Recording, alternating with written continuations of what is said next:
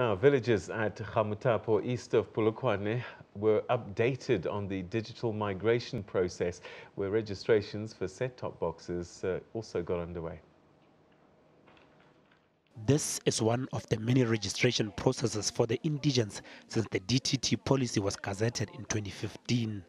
Communications Minister Faith Muthambi says the response has been impressive since the issue of TV licensing was delinked from this process. About 80 communities around the country will benefit. The DTT process will improve the footprints of radio stations.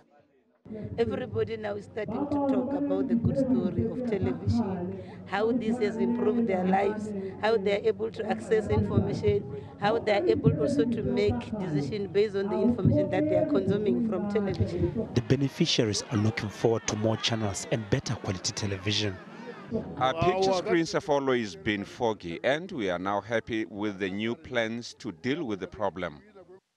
We appreciate whatever the minister doing for us in this community, Amutapo community. We really appreciate a lot.